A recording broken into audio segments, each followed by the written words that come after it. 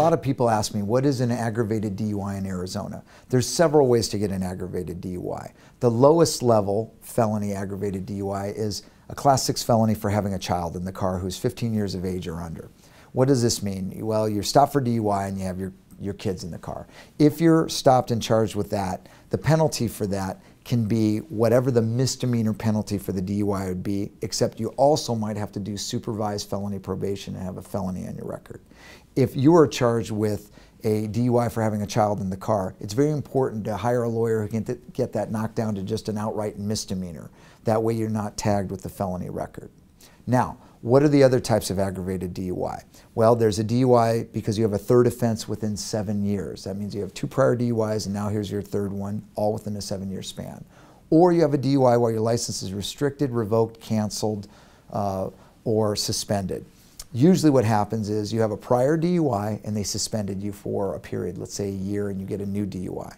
Or you have a prior DUI and they required you to put an interlock device or breath testing device on your steering wheel and you blow into that to start your car. what happens is a lot of people have um, drive a car that doesn't have the interlock device and they get stopped for DUI or they have somebody else blow into the interlock device in their DUI uh, or they simply blow into it while they're below an O2 and then the alcohol absorbs in their body and eventually uh, they're above the legal limit and they get stopped what are the penalties for aggravated DUI other than when you have a child in the car? On a standard aggravated DUI class 4 felony first offense, you're looking at four months in prison, day for day time. Not jail, but prison. If you have a prior aggravated DUI, it is lifetime eligible. What that means is now you are looking at three to six years. Now it actually can be higher than that, but this is the standard range with four and a half is the uh, presumptive term in prison.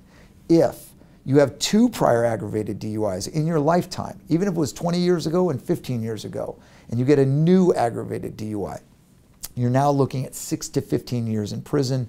10 years is the uh, presumptive. Uh, normally on those, the prosecutor will offer you six years at the low end. So they're very serious charges. Even if it's four months in prison, uh, you do not want to have an aggravated DUI. If this is you, give us a call.